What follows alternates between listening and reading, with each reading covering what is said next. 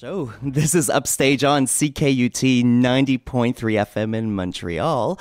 The time is now 6.06. My colleague Sarah Deshaies is off tonight. Sarah, I hope you're feeling better. We hope to see you again here next week. so, coming up on the show, we're going to be speaking to uh, director Paulina Abarca Cantin. She's directing the new show, The Refugee Hotel, presented by Teesri Duniya Theater over at the Segal Studio. The, the Teesri Duniya Theater is dedicated to producing, developing, and presenting socially and politically relevant theater based on diverse cultures' experiences. It gives a vital voice to communities that might otherwise go unheard and share others' histories. But the show, it is about the world's refugee crisis looms large, affecting all walks of life, generations, and nations. This moving dark comedy brings to life the consequences of exile, betrayal, torture, and guilt. Um, but is ultimately about the strength of the human spirit and its power to heal. Over the phone right now to tell us all about the show is Paulina Abarca Cantin. Hello, Paulina. How are you? Hello there. Good evening. How are you? Good evening. Thank you so much for taking a few moments to speak to us about the show on this wet, rainy night. My pleasure. Yeah, you are probably in now, right? Uh, we just finished an hour ago, uh, so all is well in the world. Excellent. I love hearing a director who is full of confidence like that. yeah, so tell us about the show, The Refugee Hotel. It's tackling a lot of issues that are pretty pertinent to the world today. A lot of people are living this and it's being presented in this show. Could you tell us about it? Yes, and maybe to just uh, put in a comment in relation to what you said about a director being confident. A director is confident when you have a great script, which is certainly the case on this one, and Yes. a great acting company, which is most definitely the case on this one, and you're working with a great creative team of designers, which is certainly my privilege to do so on this show. Conversation has conversations have been rich and very, very interesting because, as you've mentioned, the state of the world and the state of refugees worldwide is an issue that uh, really merits uh, our attention at this point in time as Canadians in particular. This would be a good time to present a show like this since it's a lot of talk, a lot of confusion out there at the moment regarding the refugee crisis that's happening internationally. Yes, absolutely. So the show, just not to give you a false impression of what the show is about, the show um, has relevance to the current crisis, but the the refugee hotel tells the story of the group of Chilean refugees who arrived in Canada following the first 9/11 in the world, the September 11, 1973, the Chilean coup d'état that ousted uh, President Salvador Allende, and, and thereafter which a military uh, dictatorship was established, a very cool one. And at that time, um, many people fled the country, and many Chileans came, about 7,500 Chileans came to Canada, to various cities across Canada. Canada was one of the countries that many of the Chileans had gone to. This is uh, one of the places that they, they, they, they came to. They came to, yes, but there's a catch to that they came to. Canada was one of the countries that accepted Okay. Chileans fleeing the dictatorship. Sweden was the first country to accept Chilean dictatorship, uh, uh, t- sorry, to, to accept refugees fleeing the dictatorship uh, for human rights abuses and so on. So Sweden was one of the first. And I take you back to 1973 and the Cold War how polarized things were in the world. Canada did, Canada did not initially accept Chilean refugees because of its close relationship to the United States. And it was the triumph of citizen led movements that turned Trudeau's, reversed Trudeau's decision in what later became a landmark refugee case within the context of Canadian immigration. Um, these were refugees that were fleeing a right wing dictatorship, which was exceptional in the world. And as I say, it was thanks to um, church groups and citizen movements that uh, that lobbied very hard in Ottawa and across the country that the Canadian government then um, became extremely active and uh, offered refuge to over 7,000 Chileans. And the play itself, it does on the strength of the human spirit, like on these on the people, not on the circumstance, but the people of what they went through. Is that correct? Would that be an accurate way to to describe it? It would, and I should say that despite the, you know, the heaviness of what we've ju- we've been talking about, the play is actually a dark comedy. Okay. So the situation is eight Chilean refugees who arrive at a downtown hotel in Montreal in 1974 and the three Canadians that they encounter. Mm-hmm. Of those eight Chileans, four form a family, mm-hmm. and four of the characters come from different walks of life. Um, and, and as in many um, cultural traditions, humor is what allows you to survive such difficult circumstances, and of course, love, tenderness, and the solidarity of your community. Mm-hmm. These are all things that you see very strongly in the play. Um, I came to Canada when I was eight years old as one of those Chilean refugees, and um, it was there were very very difficult days.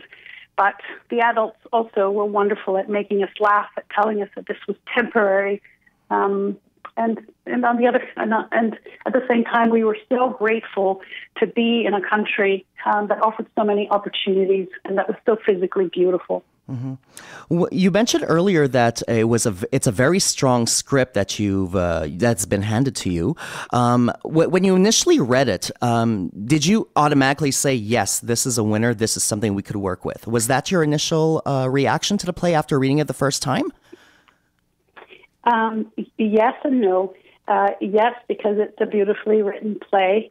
Um, no, in the sense that it took me a little while to um, return to that uh, part of my past as mm-hmm. an artist. Uh, and the play is written, I should say, by a fellow Chilean Canadian who also obviously arrived in Canada when she was six years old, Carmen Aguirre. she arrived with her family in Vancouver, and I arrived in Montreal with mine when I was 8 mm-hmm. So there were a lot of similarities. There were a lot of um, differences. Um, and when you when you go through a situation like that, I, as the character in the play explains. It takes courage to remember, and it takes courage to forget, and mm-hmm. it takes a true hero to do both. Mm-hmm. So it's taken me a little while to become my own hero, I suppose. Mm-hmm. Um, and I think that for all of the actors that I'm fortunate enough to be working with, there is for some a similar journey at play mm-hmm. of looking back at a at a past that to some extent one has repressed to move on, to assimilate, and to carry on within Canadian society. But given all that's happening in the world, it is really important to come out, as it were, and to tell one's own story um, as a means of paying it forward for others who are um, experiencing similar circumstances. And in a sense, um, I feel extremely strongly that the human spirit is incredibly resilient. So, despite the concerns that we might have about our ability to integrate those refugees. I think we must really must not underestimate um, the human spirit and its in its capacity to adapt, to transform, and to be resilient, and to contribute to this new society that offers a new opportunity. Mm-hmm. If you're just tuning in now, we're speaking to Paulina Abarca Cantin. She is the director of the Refugee Hotel, the new show being presented by Teesri Duniya Theater over at the Segal Studio. It's running from October 26th to November 13th.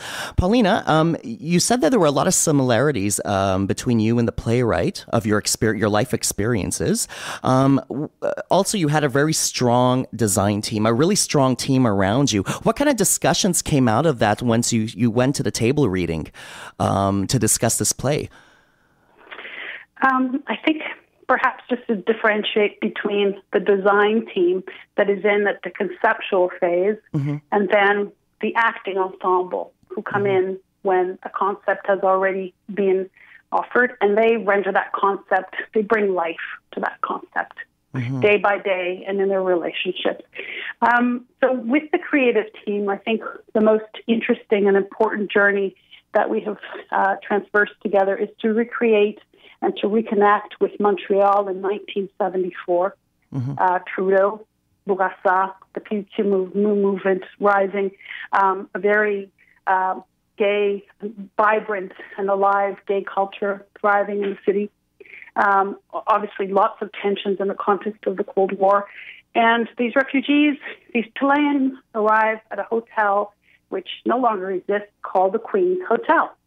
Mm-hmm. Uh, usually, if you run into a Chilean of that generation in the city, they, most of them arrived at the Queen's Hotel and have very strong memories um, of that time at the Queen's Hotel. So we've essentially recreated much of the interior of that hotel and of that period, um, the fashion of the period, and so on.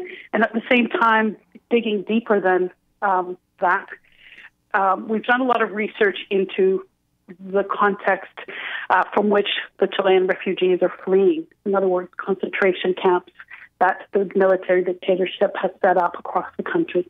Mm-hmm.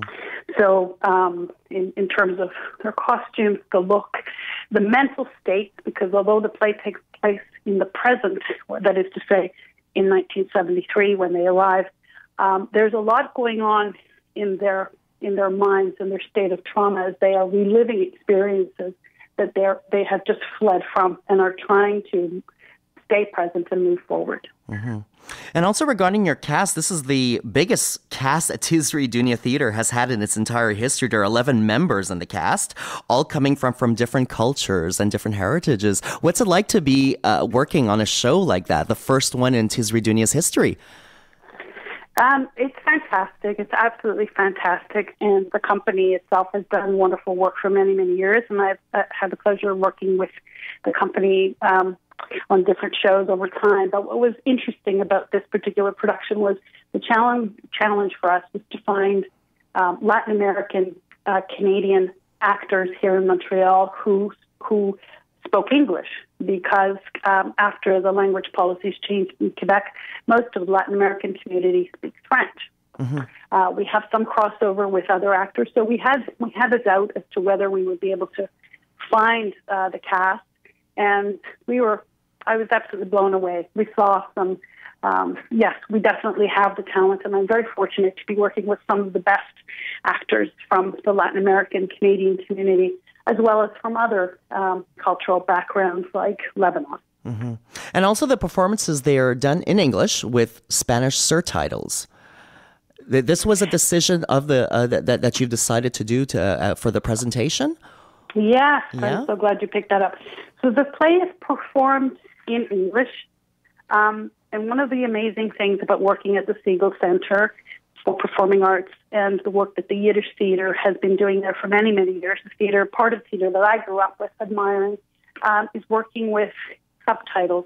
So they perform plays in Yiddish with English and French language subtitles, um, which is a wonderful way to bring a new community into into that theater. And I and I and I really wanted to do that for uh, for the community that the play speaks to, or rather, whose life this play reflects it speaks to many different communities, but I really wanted to be able to have um, Spanish language speakers be able to attend and, and understand the show. Mm-hmm. So this is what we have. We are fortunate that Bruce Gibbons Fell had just finished the Spanish language tr- uh, translation. Uh, he had been working with a company in Toronto, and he was delighted when I asked. And uh, that is what you will see: uh, Spanish language t- subtitles by Bruce Gibbons Fell and the original play written by Carmen Aguirre in English. Mm-hmm. And one of the mandates of Teesri Duniya is to encourage dialogue uh, with their audience members and their artists to, to get a discussion going. What a great play for the for, yeah. to do that with, right? I mean, there's yeah. so much material here, yeah. so much thought, so many opinions. It'll, it'll spark so many discussions. That's something you're excited about the talkback sessions. I'm extremely excited about those sessions, and I have already, because over the past year, I've been in discussion on, uh, with several um, researchers, people who work with um, uh, people who work with trauma victims and so on. Um, one of the things that they're very excited about is the opportunity to speak about their their research to the audience, but in a context that renders that research human. Mm-hmm. It, it, it renders the whole experience human, and this is the wonderful challenge that we have as actors, director, and creative team is that it has to captivate, connect, um, and, and render it and, and, and take you on the journey, take you yourself on the journey. So the talkbacks are an opportunity to have some people who have seen various waves of refugees over the years now the Chilean crisis was 40 and 40 something years ago. But since then, as you know, we have had people from El Salvador, Vietnam, Uganda, Colombia, the list goes on up until the present day Syrians. Mm-hmm. Um, and there are some pat- there are definitely patterns and there are definite coping strategies. And I think Canada has learned a lot about how to help people recover and how to help people heal and move on. Is there something so that? Yeah, sorry yeah. to interrupt you. Go ahead. Sorry. that's part of the discussion that we will have after the show. And the, there are uh, different speakers speaking to immigration, changing the evolution of Canada's refugee immigration policy, health issues. One of the nights, playwright Carmen Aguirre flying in from Vancouver to talk to the audience about her process, what inspired her to create the play, and to have a talk with the audience. Uh, the actors will be on stage many nights as well, having a conversation with the audience uh, to get their feedback and their response to what they have seen on stage. Mm. I'm really excited about the talkbacks. they, they, the they are a lot of fun. Can, it's not the kind of play that you can say to an audience, "Thank you, lights up, go home now." It's a play mm-hmm. that says, "Let's talk about this now." Mm-hmm. Is there something that you want them to walk away with after seeing the show and experiencing the talkbacks? Is there something that, um, in particular, you want to open your, your, your the eyes of your audience to? Um, I think it's everything I've just said, but mm-hmm. um, I think it's to attune our audience to the fact that people are destitute and displaced, as you and I are having this conversation. Mm-hmm. That there are people in hotels across the country right now mm-hmm. that are um, in the in a, undergoing a similar process, and that we as Canadians have a real possibility to assist um, to transform those lives, to transform the world, and to make it a better place. Mm.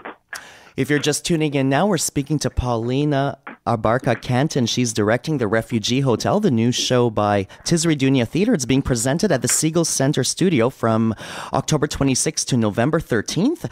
If uh, for tickets, you could contact the box office at 514 739 7944. The Segal Center Studio address is 5170 Côte Sainte Catherine Road. Thank you so much, Paulina, for taking a moment to speak with us. Thank you for having me. It was a great pleasure. Thanks so much. Thank you. And break a leg with the show. Yay. Thank you. Thanks. Bye-bye. Take care.